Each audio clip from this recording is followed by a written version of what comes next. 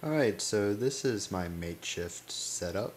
I hope that you can make it a little bit neater. But uh, I just wanted to show you the settings that I'm going to be using. It's going to restart so I can't really record it as it restarts. But uh, I have the keyboard settings and the graphic settings all configured and everything. And then you're going to want to click Enable Aster and Restart PC. Click Yes. There it goes. Keyboard.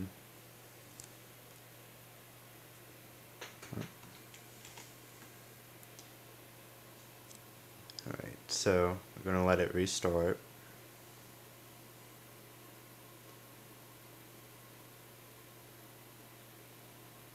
I may fast forward this.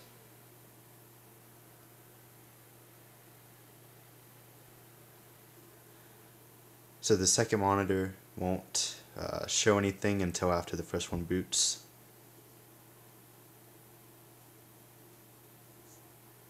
Because that's just how it loads.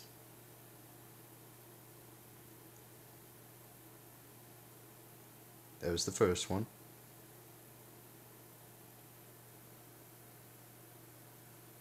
And there's the second one.